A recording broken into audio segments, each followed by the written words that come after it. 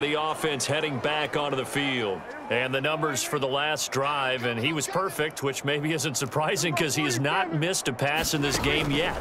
And it lets you know just how precise things have to be for a quarterback to be perfect because... Oh, a leap, and he will make the catch. And they've got it well across midfield down to the 40 before it's all said and done.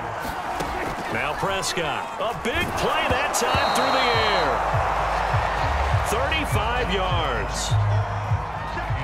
After the incomplete pass, here now is second and 10. A give to Elliott. And some room to work. And they're able to get this one past the 30 down to the 25. So first and 10, and if they score on this drive, might have to start digging in our second half blowout material. 66 yards rushing for him now in the ball game. They're going to hurry back to the line now. Off play action to Elliott. Here's Prescott. And he's wrapped up. Taken down. Back at the 25. They'll need a big play here. Will Dak and the Cowboys after the sack. It's third and long.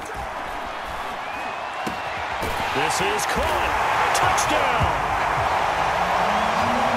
Dak Prescott now four touchdown passes on the afternoon. And the Cowboys continue to pour it on. You have fun with this one, partner? I am. I mean, he's been fun to watch under center.